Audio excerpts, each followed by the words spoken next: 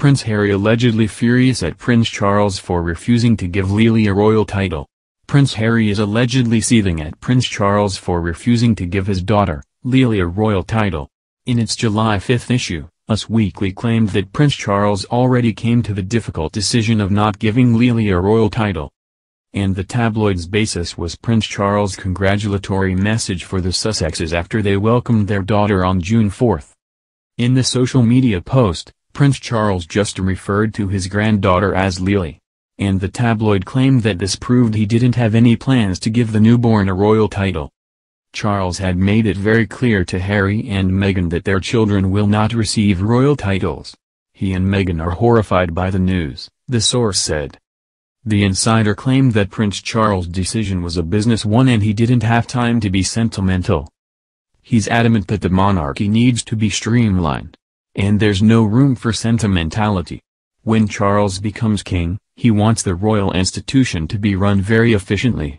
There will be other disappointed parties, so he doesn't think Harry should take this personally, the source said. Queen Elizabeth is allegedly on board with Prince Charles' decision to streamline the British monarchy. And because of this, the monarch is also supportive of her son's decision to not give his grandchildren royal titles. On the contrary, Prince Charles will most definitely give Prince George, Princess Charlotte, and Prince Louis royal titles in the future because their parents are working royals. And they are also direct heirs to the throne. By the looks of it, Prince Harry doesn't mind if his children don't have royal titles. After all, he is no longer considered a working royal. And the Duke and Duchess of Sussex have also been adamant at wanting to give their children a normal life. And not having royal titles will help them grow up to be normal individuals. Meanwhile, there are reports claiming that Prince Charles and Prince Harry's relationship is still estranged. But the heir to the throne is seemingly disappointed because he was supportive of Prince Harry and Markle's decision to quit the firm in January. In fact, reports revealed that Prince Charles even gave the couple a huge chunk of money after they quit so that they would have more than enough to begin their new life in the United States. Thank you.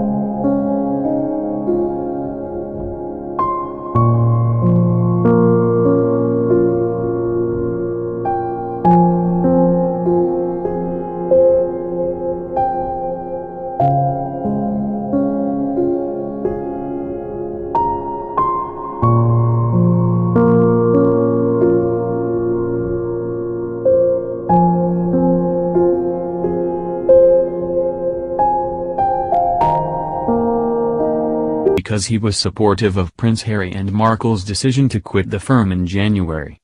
In fact, reports revealed that Prince Charles even gave the couple a huge chunk of money after they quit so that they would have more than enough to begin their new life in the United States.